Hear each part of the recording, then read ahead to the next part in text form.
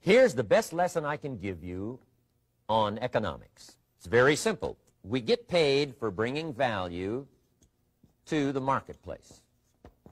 That's about as simple as I can put economics. We get paid for bringing value to the marketplace. Now, it takes time to bring value to the marketplace. However, we do not get paid for time. So we cross that out.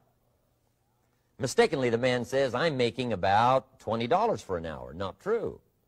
If that was true, you could just stay home, right, and have him send your money. So that's not true. We don't get paid for time. We get paid for value brought to the marketplace.